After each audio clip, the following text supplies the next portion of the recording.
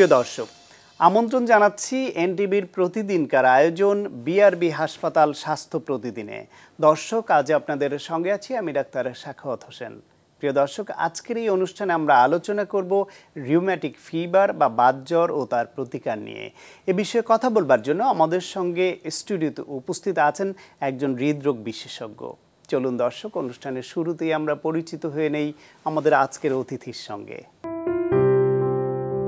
Doctor Farzana Zulfia খান উনিশশো চুয়াত্তর সালের নভেম্বর মাসে ঢাকা জেলায় জন্মগ্রহণ করেন। তিনি দুই হাজার সালে বাংলাদেশ মেডিকেল কলেজ থেকে এমবিবিএস ডিগ্রি অর্জন করেন। এরপর তিনি চিকিৎসা বিজ্ঞানে উচ্চতর ডি কার্ড ডিগ্রি লাভ করেন। বর্তমানে তিনি বিআরবি হাসপাতালের হৃদরোগ বিভাগের কনসালটেন্ট হিসেবে কর্মরত। আপনাকে আমন্ত্রণ জানাচ্ছি আমাদের অনুষ্ঠানে। ধন্যবাদ আপনাকে। যে বাতজ্বর এটা এক সময় ব্যাপক একটা আতঙ্কের বিষয় ছিল। বাতজ্বরের প্রকোপও অনেক কমে আসছে এবং এর চিকিৎসা ব্যবস্থা অনেক উন্নত হয়েছে ফলে এর আফটার সিকোয়েন্স যেটা বা কমপ্লিকেশন সেটিও অনেক কমে আসছে। কিন্তু তারপর আমরা বাতজ্বর মুক্ত হতে পারিনি। তো আপনি যদি আমাদের একটু শুরুতে বুঝিয়ে বলেন বাতজ্বর বা রিউমেটিক ফিভার এই বিষয়টা কি? এবং এই ক্ষেত্রে যদি একটু তুলনা দিয়েও বলেন যে বাতজ্বর এবং বাতের ব্যথা এটার সঙ্গে অনেকে গুলিয়ে ফেলেন। আসলে বিষয়টি কি? ধন্যবাদ আপনাকে প্রশ্নের জন্য। এটা বাত জ্বর আসলে একটা ইনফ্লামেটরি ডিজিজ যেটাকে ইংরেজিতে আমরা রিউমেটিক ফিভার বলি বাংলায় আমরা বাত জ্বর বলি। তো এই ইনফ্লামেটরি ডিজিজটা কেন হয়? এটা হচ্ছে আমাদের সোর থ্রোট যেটা স্ট্রেপ্টোকক্কাল ইনফেকশন থেকে বাচ্চাদের হয় যেটা সোর থ্রোট হয় সেটারই কনসিকুয়েন্স হিসাবে কিন্তু বাত জ্বরটা চলে আসে। এখন বাত জ্বর কাদের হয়? বাত জ্বর হচ্ছে পাঁচ থেকে পনেরো বছরের বাচ্চাদের বাত জ্বরের সম্ভাবনা বেশি থাকে। কিন্তু সব সব বাচ্চাদের কিন্তু হয় না। এক্ষেত্রেও একটা ব্যাপার আছে যে যারা একটু লো সোশিও ইকোনমিক কন্ডিশনে থাকে একটু ওভার ক্রাউডেড জায়গা থাকে সেই সব বাচ্চাদের বাত জ্বর সম্ভাবনা খুব বেশি হয়ে থাকে। কারণ ওদের বডি ইমিউনিটি কম থাকে ম্যালনিউট্রিটেড বা অপুষ্টিজনিত সমস্যা থাকে। ফলে আপনি যে কথাটা বলছিলেন যে গলার ব্যথা গলার ঘা বা সর্দি কাশিটা যাদের বেশি হয় ওইখান থেকে যেহেতু ছড়ায় সে কারণে তাদের বেশি হ্যাঁ, হচ্ছে। এখানে আমি আরেকটা কথা বলব যে এরা কিন্তু আন্ডার ট্রিটেড থাকে। এরা কিন্তু গলা ব্যথা হচ্ছে এটাকে ইগনোর করে। কারণ এদের সোশিও ইকোনমিক কন্ডিশন পোর থাকে। তাদের প্যারেন্টসরা তাদের ডাক্তারের কাছে যত সময় নিয়ে যায় নেগলেক্টেড নেগলেক্টেড হয়। এই কারণেই কিন্তু এই এই গ্রুপটার মধ্যে বাত জ্বরের সম্ভাবনা বেশি এবং তাদের রিকারেন্সও খুব বেশি হয়ে থাকে। বাত জ্বরের সঙ্গে মানে বাত কথাটা আসলো কেন? মানে রিউম্যাটিক ফিভার এর সঙ্গে যে বাংলায় আমরা বাত জ্বর করেছি বাত কথাটা আসলো কেন? এবং এর সঙ্গে অনেকে বাতের ব্যথা এবং এই দুটাকে গুলিয়ে ফেলেন অনেক সময় বাত কারণটা জ্বর আর বাতের ব্যথা গুলিয়ে ফেলে কারণটা হচ্ছে এই বাত জ্বরে আপনার গিটে গিটে ব্যথা হয়। যেটা বাতের ব্যথাতেও আমরা কিন্তু এই ফিলিংসটাই আসে। কিন্তু দুইটার মধ্যে ডিফারেন্স হচ্ছে বাত জ্বরের ক্ষেত্রে কিন্তু জয়েন্টটা ফুলে যাবে এবং বড় বড় জয়েন্টগুলোকে আপনার ইফেক্ট করবে। এক্ষেত্রে আরেকটা ইন্টারেস্টিং হচ্ছে যে এই ব্যথাটা কিন্তু ফ্লিটিং হবে মানে একটা জয়েন্টে ব্যথা হলো ওইটা কমতে না কমতে দেখা যায় আরেকটা জয়েন্টে আসছে। এটাকে পলিআর্থ্রাইটিস বলা হয় মানে পলিআর্থ্রাইটিস মানে হচ্ছে ফ্লিটিং আর্থ্রাইটিস বলা হয়।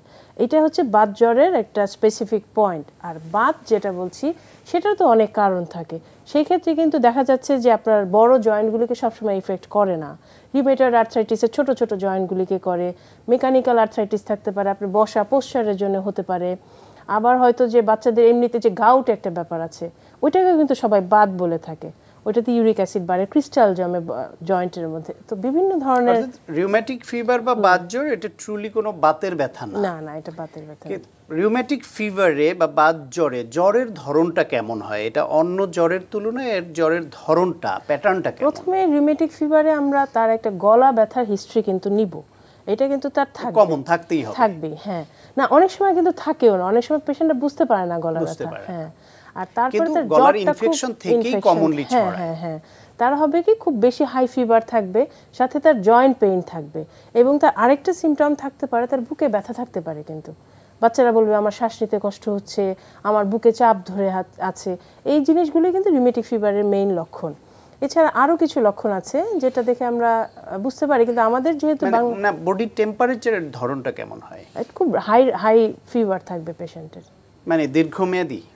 না খুব বেশি দিন থাকবে না ওইটা দুই তিন সপ্তাহ থাকতে পারে তারপর রেস্ট নিলে আস্তে আস্তে চলে যাবে। আমরা হিস্ট্রি নিলাম লক্ষণ দেখলাম তারপর এটা কনফার্ম করার উপায় কি যেটা বাদ জ্বর কনফার্ম করতে গেলে প্রথমে আমাদের একটা ব্লাড কাউন্ট করতে হবে ওইটাতে তো যেহেতু ইনফেকশন সেহেতু আমাদের লিকোসাইড কাউন্টটা বেড়ে যাবে তারপর আমরা এএসও টাইটারটা দেখতে পারি সিআরপিটা দেখতে পারি এবং ইএসআরটা রেজ থাকবে বা- বাত জ্বরের ক্ষেত্রে। এর অনেকগুলোই অন্য ইনফেকশনের ক্ষেত্র রেজ হবে। হ্যাঁ। স্পেসিফিক বাদ জ্বর দেখার জন্য এএসও টাইটারটা দেখব আমরা এবং গলা থেকে যদি আমরা একটু সোয়াব টেস্ট করতে পারি সেটা আমাদের জন্য মোর স্পেসিফিক হয়।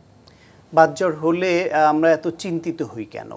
বাত জ্বর আসলে চিন্তার কারণ হচ্ছে যে আমি যদি প্রথমেই চোটটাকে পরিমাণ মতন, পরিমিত যদি মেডিকেশনের মাধ্যমে কন্ট্রোল করি, তাহলে কিন্তু এত ভয়ের কিছু নাই। কিন্তু আমরা কি করি? আমরা সেটাকে ইগনোর করি। একটা বাচ্চা বলছে, গলা ব্যথা, আমরা কিন্তু তাকে নিয়ে খুব একটা চিন্তিত হই না। আমরা যদি তখনই সঠিক ওষুধ দিয়ে তাকে ওইটাকে কন্ট্রোল করা হয়, তাহলে ওইটা নিয়ে কিন্তু চিন্তার কিছু নাই। কিন্তু আমাদের বেলায় কি হয়? ওটা আমরা ইগনোর করি এবং তারপরে আস্তে আস্তে বাদ জ্বরটা আমাদের রিমেটিক কার্ডাইটিসে পরিণত হয় হার্টটাকে ইনভলভ করে। ওইটা যখন রিকারেন্স হতে থাকে হতে থাকে, আমরা যদি ট্রিটমেন্টটা ঠিকমতো না হয়, তখন হার্ট ভাল্বটাকে এটা নষ্ট করে দেয়। এই জন্যই আমরা রিউমেটিক ফিভারটা নিয়ে আমরা বেশি চিন্তিত। আমরা জয়েন্ট পেন যেটা হয়, যেটা জ্বরের সময় গাটে ব্যথা হয়, ওইটা কিন্তু চলে যায়। ওটা এক মাসের মধ্যে এটা সাবসাইড হয়ে যায়। কিন্তু আপনার হার্টটার যে এফেক্ট করল সেটা কিন্তু আর যায় না। সেটা দীর্ঘমেয়াদী এবং পরবর্তীতে এটার বড় ম্যানিফেস্টেশন নিয়ে আসে। তারা দেখা যায় মাইট্রাল স্টেনোসিস নিয়ে আসে রিগার্জিটেশন নিয়ে আসে। অনেক ক্ষেত্রে দেখা যাচ্ছে যে তখন ভাল্ব রিপ্লেস ছাড়া আর কিছু করার থাকে না।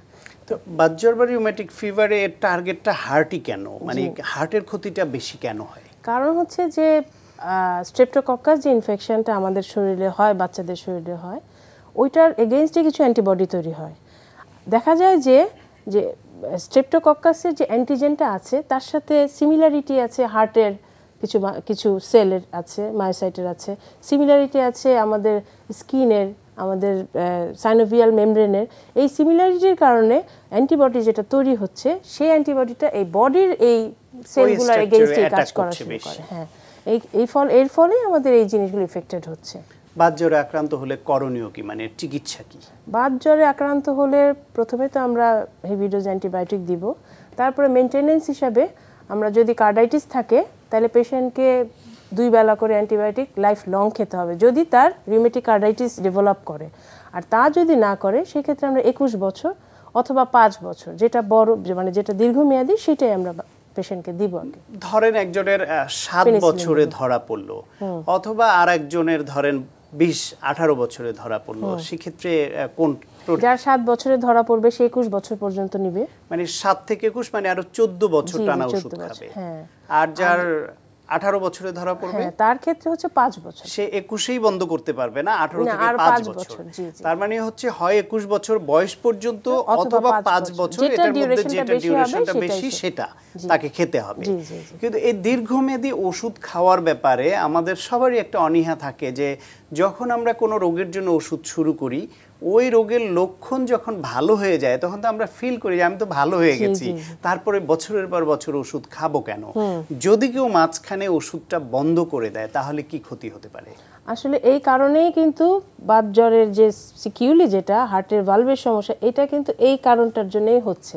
কারণ আমরা যখনই ওষুধ খাই দেখা যায় আমাদের গাঁটের ব্যথাটা মানে গিরার যে ব্যথাটা অথবা জ্বর বা গলা ব্যথা আমাদের সেরে যাচ্ছে তখন কিন্তু আমরা মনে করি যে আমাদের সিমটম তো চলে গেছে। আমি দীর্ঘদিন আর বিশ পঁচিশ বছর ওষুধ খাওয়াটা তো আসলে অনেক একটা টাফ ব্যাপার। তখন বেশিরভাগ মানুষই ওটা ছেড়ে দেয়। এই ছেড়ে দেওয়ার কারণে তার রিকারেন্সটা হচ্ছে এবং এই রিকারেন্স থেকে তার হার্টের ভাল্বটা নষ্ট হয়ে যাচ্ছে। ভাল্ব নষ্ট হচ্ছে তার মায়োকার্ডাইটিসের সমস্যা হতে পারে ডাইলেটেড হয়ে যেতে পারে হার্ট বিভিন্ন জিনিস হার্টের মধ্যে ইফেক্ট করতে পারে। সে নিয়মিত খাওয়া দরকার। ওষুধ নিয়মিত অবশ্যই খাওয়া দরকার। এ- এই ক্ষেত্রে তো একটা অ্যান্টিবায়োটিক লাইফ লং এভাবে আপনারা দিয়ে থাকেন অনেক সময় লক্ষণ ভেদে অন্য ওষুধ দেন। যখনই আমরা কোনো ওষুধ এরকম দীর্ঘদিন খাই তখন অনীহার সঙ্গে সঙ্গে যদি বুঝে খাইও যে না খেলে আমার ক্ষতি হবে সেক্ষেত্রে আরেকটা ভয় কাজ করে। যে এই যে একটা ওষুধ একটা কেমিক্যাল আমি দীর্ঘদিন খাচ্ছি তারপর আবার অ্যান্টিবায়োটিক ক্ষতি হবে না? না না এটাতে ক্ষতির সম্ভাবনা নাই বরং রোগীরা এতে আরও অনেক বেশি উপকৃত হবে। তার সবচেয়ে বড় যে সিকিউলি যেটা হার্টের সমস্যা ওইটা থেকে সে মুক্ত থাকবে। মানে তিনি সুস্থও থাকবেন এবং হার্টকেও রক্ষা করবেন। আর পরিপূর্ণ ডোজ না হলে ঝুঁকির মধ্যে পড়ে গেলেন। বাতজ্বর বা রিউম্যাটিক ফিভার প্রতিরোধ করতে চাইলে আপনার পরামর্শ কি? আমাদের লাইফস্টাইল মডিফিকেশন আমাদের পুষ্টিবিধান আমাদের চিকিৎসা ছোটবেলায় বাচ্চাদের টেক কেয়ার সমস্ত কিছু মিলিয়ে আপনার পরামর্শটা কি? বাত জ্বর কিন্তু একটা সময় ছিল যখন হাজারে ছয় জনের বাত জ্বর হতো। এখন কিন্তু সেই স্টাডি থেকে দেখা গেছে যে এখন একজনেরও হয়তো হয় না। বাত জ্বরের সম্ভাবনাটা বা বাত জ্বরের প্রকোপটা কিন্তু আগের তুলনায় অনেক কমে গেছে, এটা হচ্ছে আমাদের অ্যাওয়ারনেসের কারণে। আমরা এখন অনেক কিছু বুঝতে পারি, বাচ্চাদের ব্যাপারে অনেক কেয়ারফুল হই। এই কারণে বাত জ্বরের সম্ভাবনাটা কমে গেছে। কিন্তু বাত জ্বরের কারণে হৃদরোগের সম্ভাবনাটা কিন্তু বেড়ে গেছে। কারণ হচ্ছে মানুষের দেখা যায় সিমটম হচ্ছে না সিমটম হলে আমরা ওষুধ দিয়ে কমিয়ে ফেলছি তার পরবর্তীতে আর ওষুধটা কন্টিনিউ করছি না। এই দিকে যেমন বাত জ্বরের সিম বাত জ্বরটা কমে যাচ্ছে কিন্তু বাত জ্বরের কারণে যে হার্টের সমস্যাটা হচ্ছে ডিজিজটা হচ্ছে ওইটা কিন্তু ওইটার গুণটা বেড়ে যাচ্ছে জি। মানে বাতজ্বর প্রতিরোধে আপনার পরামর্শ? বাতজ্বর প্রতিরোধে আমাদের অবশ্যই আমাদের লাইফস্টাইল মডিফিকেশন করতে হবে। মানে ওভার ক্রাউডেড জায়গায় না থাকার ব্যবস্থা করতে হবে মানুষের বাসস্থানের ব্যবস্থা করতে হবে। তারপরে যা কারও যদি গলা ব্যথা নিয়ে আসে কোনো বাচ্চা মানে পুষ্টিহীনতা দূর করতে হ্যাঁ, হবে। বাচ্চাদের যাতে বডি মানে ইমিউনিটি হ্যাঁ ভালো হ্যাঁ হ্যাঁ থাকে। হ্যাঁ সুষম খাদ্য খেতে হবে বাচ্চাদের খাওয়াতে হবে। তাদের যদি কোনো ধরনের কোনো জ্বর বা গলা ব্যথার ইতিহাস বা কোনো সিমটম হয় তখন আমরা ডাক্তারের কাছে নিয়ে যাব এবং ডাক্তার যেভাবে বলে ঠিক সেভাবেই ওষুধটা চালানো উচিত। আপনাকে অনেক ধন্যবাদ। আশা করছি যারা শুনছেন তারা এই নিয়ম কানুন মেনে চলবেন এবং তাদের সন্তানদের দিকে নজর দিবেন। আবারও ধন্যবাদ আপনাকে। থ্যাংক ইউ আপনাকে। ধন্যবাদ আপনাকে। প্রিয় দর্শক, আমরা শুনছিলাম রিউম্যাটিক ফিভার বা বাতজ্বর ও তার প্রতিকার সম্পর্কে অত্যন্ত প্রয়োজনীয় একটি আলোচনা। আশা করি আপনাদের কাজে লেগেছে। প্রিয় দর্শক, এই অনুষ্ঠানটিকে আমরা আপনাদের মনের মতো করেই সাজাতে চাই। তাই কোনো পরামর্শ বা মতামত থাকলে অবশ্যই লিখে পাঠাবেন এই ঠিকানায়। প্রযোজক বিআরবি হসপিটাল স্বাস্থ্য প্রতিদিন এনটিভি বিএসইসি ভবন সপ্তমতলা, একশো দুই কাজী নজরুল ইসলাম অ্যাভিনিউ, কারওয়ান বাজার, ঢাকা এক দুই এক পাঁচ। ফ্যাক্স নম্বর নয় এক চার তিন তিন আট ছয় থেকে সাত পর্যন্ত। ইমেল বিআরবি হসপিটাল স্বাস্থ্য প্রতিদিন at the rate NTV BD dot com প্রিয় দর্শক বিশ্বের যে কোনো প্রান্ত থেকে আপনার প্রিয় বিআরবি হাসপাতাল স্বাস্থ্য প্রতিদিন অনুষ্ঠান দেখতে ভিজিট করুন ডাব্লিউ ডট ডট কম এছাড়াও এনটিভির জনপ্রিয় সব অনুষ্ঠান ও খবরের আপডেট জানতে ভিজিট করুন আমাদের ইউটিউব ও ভেরিফাইড ফেসবুক পেজ। দর্শক, আজ এ পর্যন্তই। সবাই ভালো থাকুন, সুস্থ থাকুন এবং অবশ্যই থাকুন নিরাপদে। দেখা হবে আগামীকাল ঠিক একই সময়ে নতুন কোনো অতিথি নিয়ে।